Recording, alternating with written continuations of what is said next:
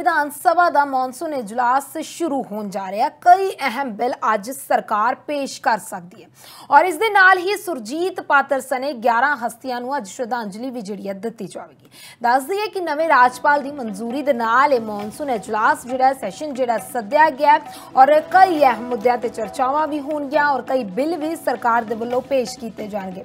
ਜਿਸ ਤਰ੍ਹਾਂ ਕਿਸਾਨਾਂ ਦੇ ਵੱਲੋਂ ਅੱਜ ਮੰਗ ਪੱਤਰ ਵੀ ਜਿਹੜਾ ਹੈ, ਸੀਐਮ ਮਾਨ ਨੂੰ ਸੌਂਪਿਆ ਜਾਣਾ ਹੋ। ਸਕਦਾ ਇਹਨਾਂ ਮੁੱਦਿਆਂ ਦੇ ਉੱਪਰ ਵੀ ਕੋਈ ਚਰਚਾ ਅੱਜ ਸਰਕਾਰ ਦੇ ਵੱਲੋਂ ਕੀਤੀ ਜਾਵੇ ਔਰ ਦੂਜੇ ਪਾਸੇ ਨਵੀਂ ਮਾਲਵਾ ਨਹਿਰ ਨੂੰ ਲੈ ਕੇ ਵੀ ਇਸ ਦੀ ਚਰਚਾ ਜਿਹੜੀ ਹੈ ਉਹ ਵਿਧਾਨ ਸਭਾ ਦੇ ਵਿੱਚ ਹੋਣ ਦੀ ਸੰਭਾਵਨਾ ਜਤਾਈ ਜਾ ਰਹੀ ਹੈ। ਤਾਂ ਅੱਜ ਸੁਰਜੀਤ ਪਾਤਰ ਦੇ ਸਮੇਤ 11 ਹਸਤੀਆਂ ਨੂੰ ਸ਼ਰਧਾਂਜਲੀ ਵੀ ਜਿਹੜੀ ਹੈ ਇਸ ਸੈਸ਼ਨ ਦੇ ਦੌਰਾਨ ਦਿੱਤੀ ਜਾਵੇਗੀ।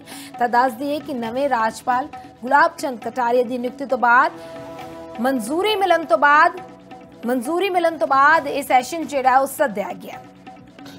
ਵਿਧਾਨ ਸਭਾ ਦਾ ਮੌਨਸੂਨ ਇਜਲਾਸ ਸ਼ੁਰੂ ਹੋਣ ਜਾ ਰਿਹਾ। ਕਈ ਅਹਿਮ ਬਿੱਲ ਅੱਜ ਸਰਕਾਰ ਪੇਸ਼ ਕਰ ਸਕਦੀ ਹੈ। ਔਰ ਇਸ ਦੇ ਨਾਲ ਹੀ ਸੁਰਜੀਤ ਪਾਤਰ ਸਨੇ 11 ਹਸਤੀਆਂ ਨੂੰ ਅੱਜ ਸ਼ਰਧਾਂਜਲੀ ਵੀ ਜਿਹੜੀ ਹੈ ਦਿੱਤੀ ਜਾਵੇਗੀ। ਦੱਸ ਦਈਏ ਕਿ ਨਵੇਂ ਰਾਜਪਾਲ ਦੀ ਮਨਜ਼ੂਰੀ ਦੇ ਨਾਲ ਇਹ ਮੌਨਸੂਨ ਇਜਲਾਸ ਜਿਹੜਾ ਸੈਸ਼ਨ ਜਿਹੜਾ ਸੱਦਿਆ ਗਿਆ ਔਰ ਕਈ ਅਹਿਮ ਮੁੱਦਿਆਂ ਤੇ ਚਰਚਾਵਾਂ ਵੀ ਹੋਣਗੀਆਂ ਔਰ ਕਈ ਬਿੱਲ ਵੀ ਸਰਕਾਰ ਦੇ ਵੱਲੋਂ ਪੇਸ਼ ਕੀਤੇ ਜਾਣਗੇ।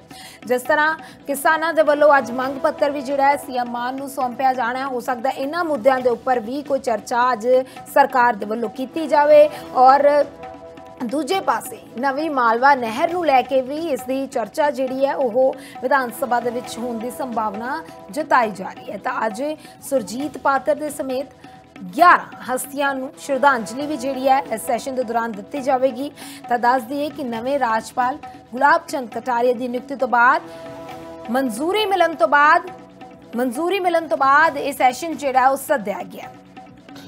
ਵਿਧਾਨ ਸਭਾ ਦਾ ਮੌਨਸੂਨ ਇਜਲਾਸ ਸ਼ੁਰੂ ਹੋਣ ਜਾ ਰਿਹਾ। ਕਈ ਅਹਿਮ ਬਿੱਲ ਅੱਜ ਸਰਕਾਰ ਪੇਸ਼ ਕਰ ਸਕਦੀ ਹੈ। ਔਰ ਇਸ ਦੇ ਨਾਲ ਹੀ ਸੁਰਜੀਤ ਪਾਤਰ ਸਨੇ 11 ਹਸਤੀਆਂ ਨੂੰ ਅੱਜ ਸ਼ਰਧਾਂਜਲੀ ਵੀ ਜਿਹੜੀ ਹੈ ਦਿੱਤੀ ਜਾਵੇਗੀ। ਦੱਸ ਦਈਏ ਕਿ ਨਵੇਂ ਰਾਜਪਾਲ ਦੀ ਮਨਜ਼ੂਰੀ ਦੇ ਨਾਲ ਇਹ ਮੌਨਸੂਨ ਇਜਲਾਸ ਜਿਹੜਾ ਸੈਸ਼ਨ ਜਿਹੜਾ ਸੱਦਿਆ ਗਿਆ ਔਰ ਕਈ ਅਹਿਮ ਮੁੱਦਿਆਂ ਤੇ ਚਰਚਾਵਾਂ ਵੀ ਹੋਣਗੀਆਂ ਔਰ ਕਈ ਬਿੱਲ ਵੀ ਸਰਕਾਰ ਦੇ ਵੱਲੋਂ ਪੇਸ਼ ਕੀਤੇ ਜਾਣਗੇ। ਜਿਸ ਤਰ੍ਹਾਂ ਕਿਸਾਨਾਂ ਦੇ ਵੱਲੋਂ ਅੱਜ ਮੰਗ ਪੱਤਰ ਵੀ ਜਿਹੜਾ ਹੈ, ਸੀਐਮ ਮਾਨ ਨੂੰ ਸੌਂਪਿਆ ਜਾਣਾ ਹੋ। ਸਕਦਾ ਇਹਨਾਂ ਮੁੱਦਿਆਂ ਦੇ ਉੱਪਰ ਵੀ ਕੋਈ ਚਰਚਾ ਅੱਜ ਸਰਕਾਰ ਦੇ ਵੱਲੋਂ ਕੀਤੀ ਜਾਵੇ ਔਰ ਦੂਜੇ ਪਾਸੇ ਨਵੀਂ ਮਾਲਵਾ ਨਹਿਰ ਨੂੰ ਲੈ ਕੇ ਵੀ ਇਸ ਦੀ ਚਰਚਾ ਜਿਹੜੀ ਹੈ ਉਹ ਵਿਧਾਨ ਸਭਾ ਦੇ ਵਿੱਚ ਹੋਣ ਦੀ ਸੰਭਾਵਨਾ ਜਤਾਈ ਜਾ ਰਹੀ ਹੈ। ਤਾਂ ਅੱਜ ਸੁਰਜੀਤ ਪਾਤਰ ਦੇ ਸਮੇਤ 11 ਹਸਤੀਆਂ ਨੂੰ ਸ਼ਰਧਾਂਜਲੀ ਵੀ ਜਿਹੜੀ ਹੈ ਇਸ ਸੈਸ਼ਨ ਦੇ ਦੌਰਾਨ ਦਿੱਤੀ ਜਾਵੇਗੀ। ਤਾਂ ਦੱਸ ਦਈਏ ਕਿ ਨਵੇਂ ਰਾਜਪਾਲ ਗੁਲਾਬ ਚੰਦ ਕਟਾਰੀਆ ਦੀ ਨਿਯੁਕਤੀ ਤੋਂ ਬਾਅਦ, ਮਨਜ਼ੂਰੀ ਮਿਲਣ ਤੋਂ ਬਾਅਦ, ਮਨਜ਼ੂਰੀ ਮਿਲਣ ਤੋਂ ਬਾਅਦ ਇਹ ਸੈਸ਼ਨ ਜਿਹੜਾ ਉਹ ਸੱਦਿਆ ਗਿਆ।